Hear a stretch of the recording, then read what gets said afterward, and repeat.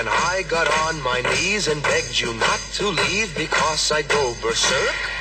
Well, you left me anyhow, and then the days got worse and worse, and now you see I've gone completely out of my mind.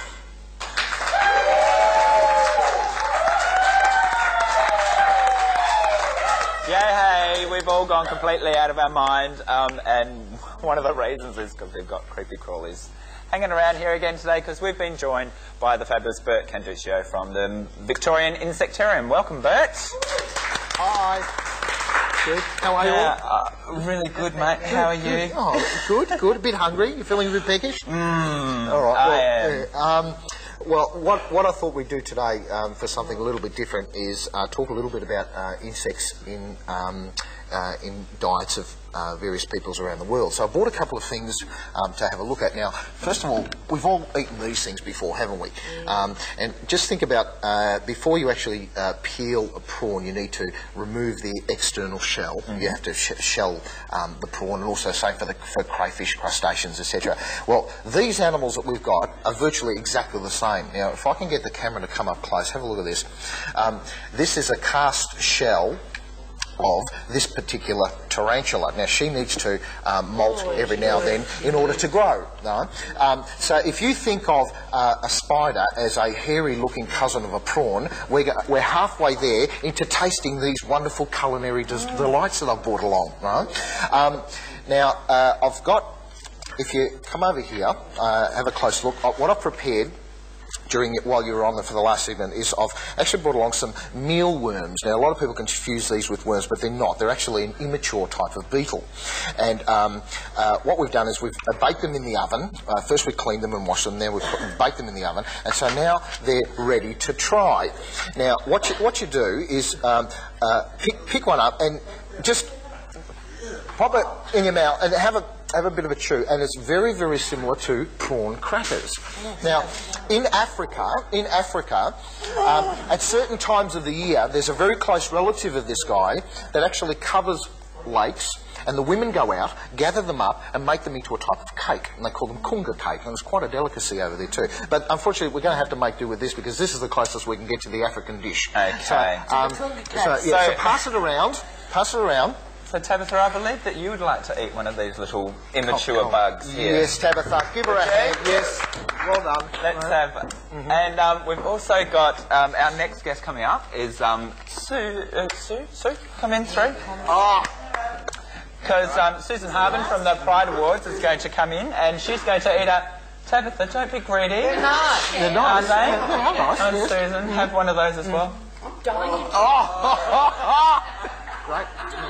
They are nice. Are they Very nice, similar Tab? to pork crackers. Are they? Yeah, they are nice. Troy, are you going to have one? Um, vegetarian. What about you, Mother? Go on, Come on. Now, now while you're, you doing on? while you guys are having a go at that, um, I'm going to get ready to make a special salad. Right, so, I'm, so I'm going to prepare a special salad. Oh! Um, Oh my god. so yeah, well done. Give them a hand. Well done. Yes. Good. Good. All right. They're like, they're like, like a peanutty. Yeah, peanutty. yes, yes. Sa- Satay. But do you know what I didn't like though? Do you know what I didn't like is their legs touching my tongue. That was awful. Okay, let's all get calm and centred again, and we're going to go over and Tabitha's going to give us a bit of more news and reviews and gossip. Take it away, Tabs.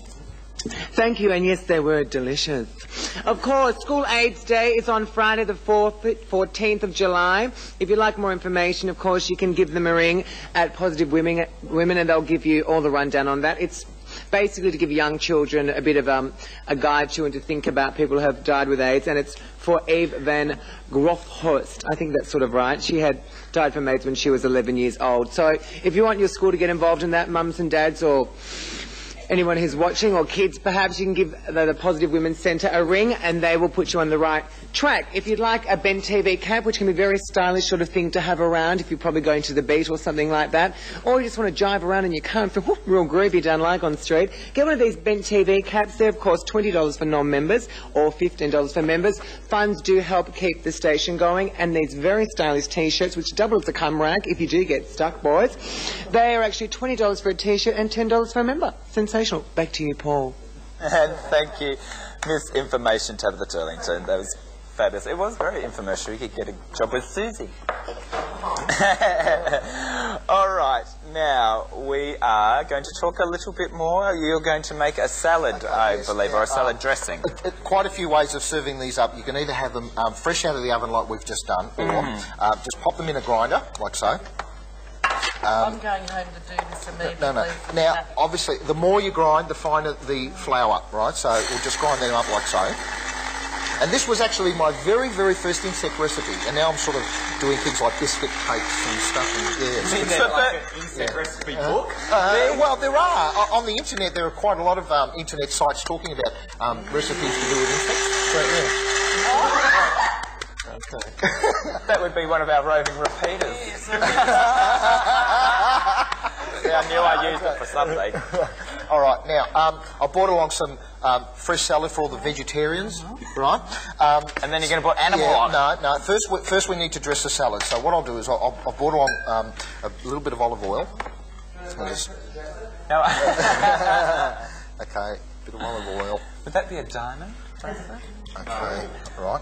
Um, bit of vinegar. A cubic zirconia bracelet. Okay, bit, of, bit, bit of vinegar. Vinegar, right. Okay. Uh, right. Uh, a little bit of salt. Bit of the harden the arteries. Yes. Caesar it ain't, mate. Uh, now, um, pepper. And of course, the piece de resistance, our mealworm flour. So we'll just sprinkle a little bit of this in here. Right? Okay. No, no, no, no, no, no, no. Okay.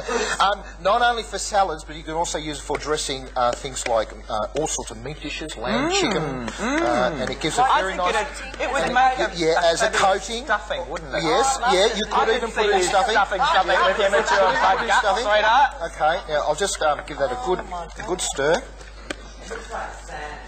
It- Oh, yeah, just a little bit. Yeah, Sand. yeah, It's, a Dan sand look. yeah. Pure. No, well, not not hundred percent, but about ninety-five percent. Um, so yeah, I'll I'll I'll, I'll Go, you go go. first. And we all like our protein. Absolutely delicious. People are Uh, flapping, uh, so I have to Be my guest. Pass it around. Have a try. Um, beautiful. So Oh, very nice. All right, but so perhaps while we're uh, tasting the culinary delights you've created for us, we can talk about what's going on at the Victorian Insectarium over the school holidays and stuff. Is Okay, yeah, we, um, we're currently running with our school holiday programs, so yes, oh, I got um, it for it here, Troy. Mm, it's very tasty. um, yeah, so we're running with our school holiday programs now, so um, uh, doing a lot of work with uh, children and also adults really who come and visit us. Um, and actually, this has given us. This has given us an idea. Maybe for the next school holiday period, we may um, have a whole program where we, we will cook and prepare a whole range of insect dishes. Well, and get everybody to come down and have a go. The GS, G, GST free too, aren't they? They can't bloody tax us on our bugs. So Yeah, get well- out to your garden, everyone. Grind up your bugs and make some salad. Try There you go. Uh, there we go. okay, Convert. that's good, You that's said good. you said that you'd get us all to Yes, yes, that's right. Um, Not even a complaint. that's what we're having for dinner. yeah, yeah. That's Yeah, amazing. beautiful. Nice. Now we've we've had um, cockroach pate, quite nice, um, and also another great delicacy is Cockroach fried fried termites. Fried termites in butter, very nice, quite quite nice. That is Okay. disgusting. Cockroach pate. Yes, cockroach pate. Friends that are moving to Sydney, that'd do huge things in Sydney. Okay, well, what, what, what, how about we do this? What if I bring a range of dishes next time, and I'll just put them on the table, and I won't tell you what they are, and everybody have a go, everybody have a go, and then when we've all eaten it all, I'll place the labels next to the dishes. That'd be great, and then How's you that? the camera can get close-ups of us all wandering everywhere. That'd be lovely. We'd All right, like that a how's lot. Okay. All right. Um, Troy, have you got something you want to talk about? I do actually. Um, it was just now that I've lost it. Just this little funny article I had. Um, a bare-breasted blonde mermaid perched atop a rock in rock is making tourists um, gape in disbelief along a Norwegian fjord. Um, one man jumped off a boat and swam over swam over to her. She was a 37-year-old whose job was a professional mermaid, sitting up there just while the boats go past. Professional mermaid. Yeah, basically. I'd like to see her job spec. So that's, That'd be um, good. yeah. So um, we were looking at this casing before of Flopsy, and now Flopsy's down in here in this little Oh, Yeah, um, I have to be, container. have to be a Oh, little I've not bit seen that careful. I'll tell you a little bit about her. She's You have to be a lot so, careful. Yeah, uh, so I... Uh, Look, I here's a won't- taran- no, no, no, tarantula. I okay, rest assured, I will not be looking at the camera. I'll be looking at the spider to keep an eye on her and make sure... Don't I fucking see worry, her. so will I. Okay. Um, right. Uh, that is one of our largest native Australian spiders. We've we've had her now for a while. Uh, she's about eight years of age, and these animals can live for about 30 years and get roughly the size of the lid of this container. Now, uh, she's actually quite, quite not too bad because I thought the bright lights might disturb her a little bit, but uh, no, she's uh, she's settling in okay. Right, like, I'm Um, her. She's Now, they've been known to feed on things like small frogs, lizards, um, no, not humans, but uh, uh, and, and, and insects as well too. No? Can you Okay, how's that? Dangle it to the camera? Oh, yes, yes, yes, yes. All right, there she is. Okay. There. Okay. Unfortunately, we can't get a really extremely good camera angle there because we No, don't don't want care. um, little the flopsy running around right the studio top. Well, how about what if I on your tip? hand, would bite you, What, wouldn't it? uh, yes, she probably would. Yeah. So uh, yeah, I'll have to be a little. Where do they careful. live? Like, where do you find Well, these are found generally north of um, Brisbane and heading up towards the. So Cape you don't get them Peninsula. in No, Melbourne? too cold. Too cold. Stay here, guys. We're fine. You're fine. Okay. Oh, look at that. You can see her there. She's Okay. Yes. You know the household one? Do they bite you? You know the household ones that Uh, come if in you all the time? if you disturb them too much here, they, I mean, all they're going to try and do is, is defend themselves. I always do hairspray and a book. the hairspray sticks them to the wall and then uh, squash them. Um, he's not the man to be talking to about killing bugs. Oh, no, well, I'm only no, joking. no, no, that's all right. All right. Well, um, put it put it to everybody this way: uh, think of all the millions of tons of chemicals and pesticides that we've created and, and let loose in the, throughout the environment. Yet, not one of those chemicals designed to get rid of a particular pest has ever totally eradicated the pest that it was designed to get rid of. All we're essentially doing is poisoning our own environment. Yep. Um, whereas you take one spider like this, and in her lifetime, she will consume about 5,000 insects um, in her life. So this is nature's way, and it's a far healthier way. And Oh, we, we just have to learn to get over our fears and prejudices. That's right. And appreciate them for- exactly, for what they are. yeah. And- and it- it- and a good is- way of doing it is by eating them. Truly. Yes, and looking at, looking Yeah. at the benefits of them. And but you know, I, I, I have to thank you myself because I ha- am extremely arachnophobic, as well you know. Yes. But having you here and, and um, having the spiders and the bugs and stuff around hasn't cured me totally because I'm still petrified of them, but it, it, it has helped. Now we are, we are getting the wind up. What are you repeating on yourself over there, Taz? Oh, you're disgusting. but I'd like to thank you for coming in and, and getting Yep. us all to eat bugs today. Well done, I Okay. think. And they actually tasted very nice. So if anyone would like that recipe, you can pop down to the Victorian Insectarium and see Burt Candicio and Flopsy and all the rest of our friends. Now, when we come back, we've got John Portelli and Susan ha- um, Harbin. She's coming. They're coming in to talk about the Pride Awards. We'll be back shortly. Thanks, Burt.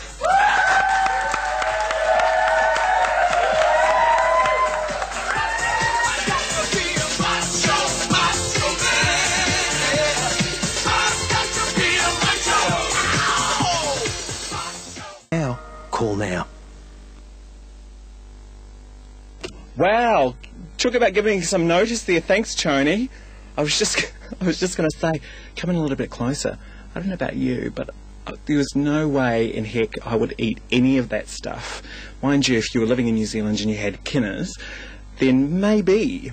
But um, a a lot of people know it as um, sea urchins, but that's one of the one of the most fabulous delicacies that you could ever have in New Zealand. Now, let's get back to what's happening on Channel 31. And now we have the weather for the week. So for Monday, it's uh, uh, cool and cloudy. Tuesday, we have a fine weather, and it's also cool and cloudy. Wednesday, we have fine uh, and windy, with a minimum of 8 and a maximum of 14. Ooh, I don't know about that. Thursday, mainly fine, with wind easing, or the wind is going to ease, with a minimum of 11 and a maximum of 14. Now for Friday, we have a few showers, with a minimum of 7 and a maximum of 14. So stay with us here on Channel 31, Bent TV, for more squeal.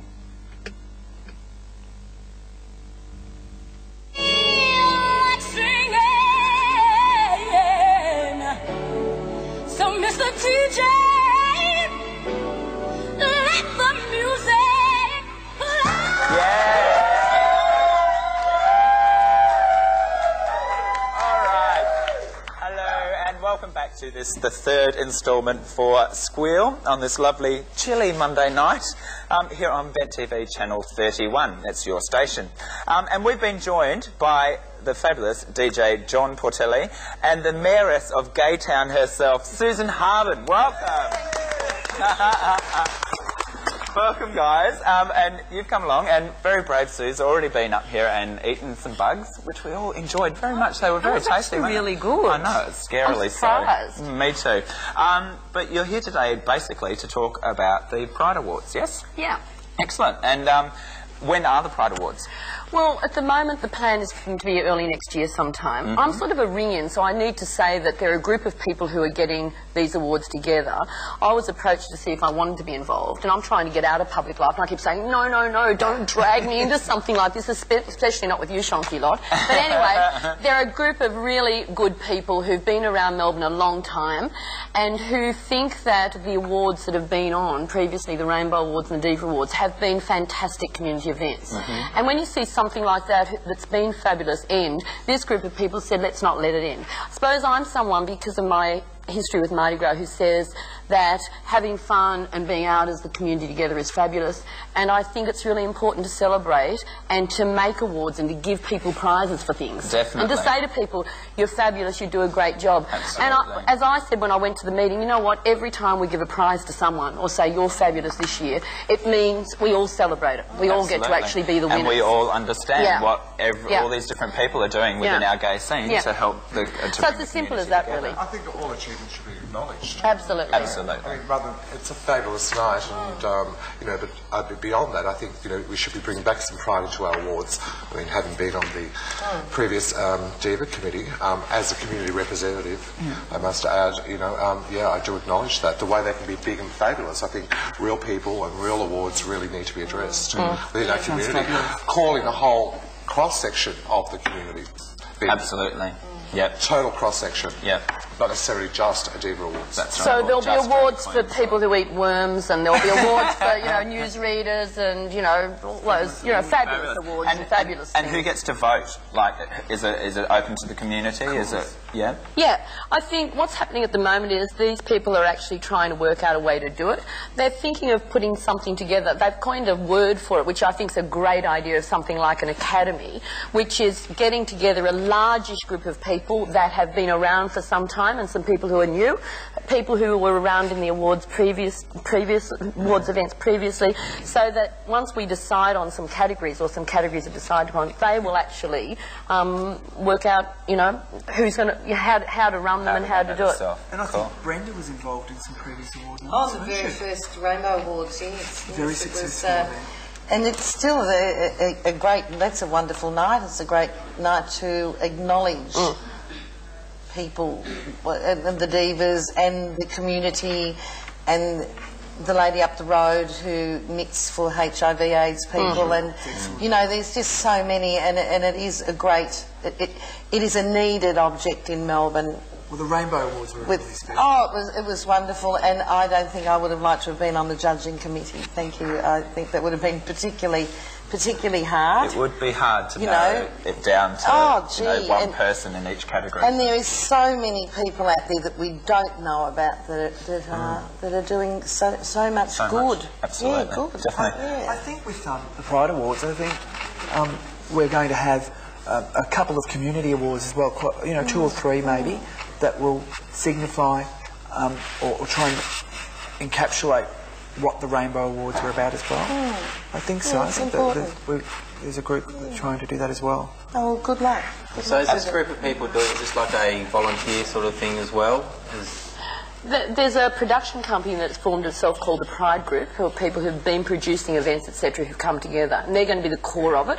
People who have who have come out of the sort of community entertainment um, world and who've got the sufficient experience themselves to run the event, Yeah. and then they're putting a wider group around them, who, who people connected to community organisations and people who actually want to come forward and form part of the academy in terms of um, working out of what, what categories there'll be and what kind of criteria. So it'll be sort of ripples of groups of people doing different things. It'll, it, all, it all started, we were sitting in a restaurant one day with Mr. Mina, who's out there, hello, and um, you know, a couple of other people, Connie Lingers, Miss Jane we were just talking about the demise of the Diva Awards, the demise of the Rainbow Awards. Yeah, we just thought we just had a, a bit of a, a vision and idea. We thought maybe we should put together something as good, bigger or greater. You know, more glamorous, more entertaining.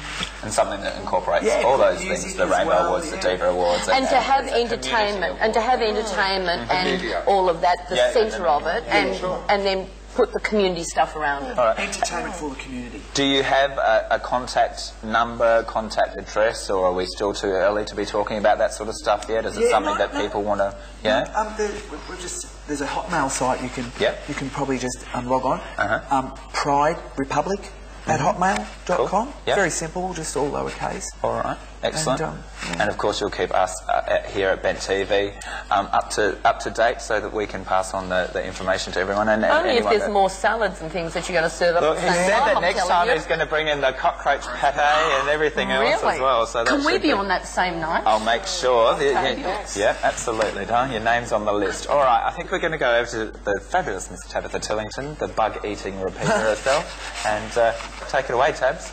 Thanks, Carol.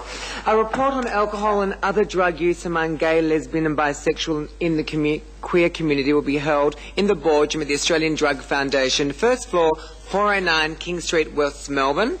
It'll be on Tuesday, the 4th of July at 6pm. So go and check that out. You can probably ask them heaps of questions. They've got heaps of information for you.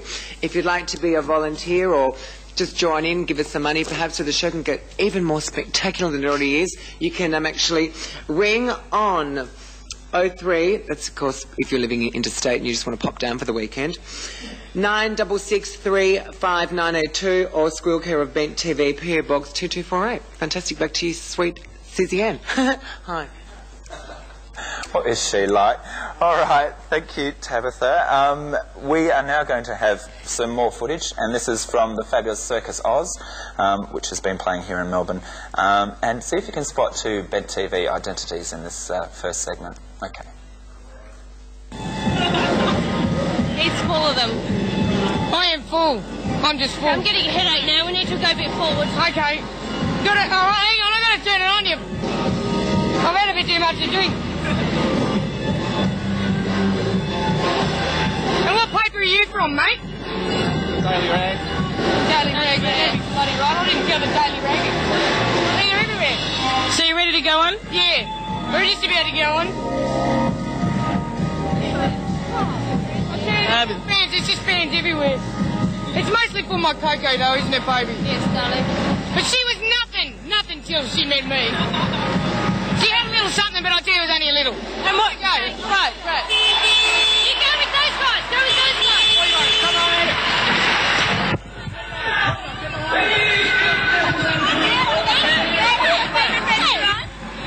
Let's get a story.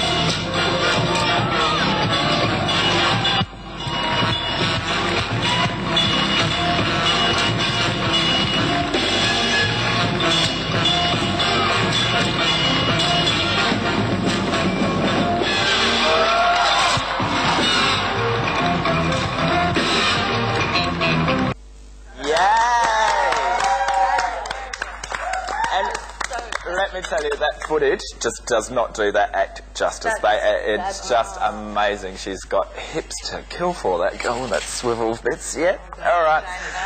And you, and you might, if you were watching closely there, you might have seen um, Anna, who was uh, who's a Bent TV volunteer. She was in there um, sticking a microphone in someone's face there. Um, all right. Is there anything more that you wanted to say about the Pride Awards, or anything else that you've um, come in today with? Um, the, uh, people will hear a lot more about it um, soon, and there will be an invitation for people to, to get involved, um, a certain group that's involved. So just stay tuned. Embracing all forms of community again. I think you know, just saying, is there a need? Yes, there is, and embracing every form of community of gay culture and appreciating that gay culture is very important. Yeah. So people don't feel like you know votes were rigged. They don't. They feel the, cat- the categories have opened right up Oh, yeah, to on- embrace all that. On that note, um, satellite media are going to be a major sponsor, and Yeah. they're, they're going to assist in, in, in the community development of Excellent. acknowledgement awards. Like Yeah. the Logie. It's going to be like the Logies. Is that? Yeah. Sponsorship, though, isn't it. Yeah. So And you know things have changed so so I mean so much. The sponsorship is you know what I do. Sponsorship is a lot harder to achieve these days, as you know. Um, but you know if such, if a big um, company like Satellite Media does get behind it, I think that's yeah. important because you've got all your media coverage. And, pe- and people will be able to vote online and be able to vote through through the papers, like the Logies Fantastic. do it. That's So- excellent. so- Those, then you can really feel like it's being done. And you're you a know, part of it. yeah. And everyone can participate. Yeah. Yeah. It's not rigged. So it is our awards because there always was that stigma after the awards shows, the rainbows and the That's divas, that, that oh, it was rigged and you know da da da. It's just like so. This is a, a real opportunity for it to be um, our And this is how it all developed. for- yeah. Basically, that how to make a foolproof, sort of glamorous, fabulous, entertaining awards night. Excellent. All right, we're getting the wind up. We're going to come back. Um, the guys are going to stay with us, and uh, we'll be back shortly. This time something, baby.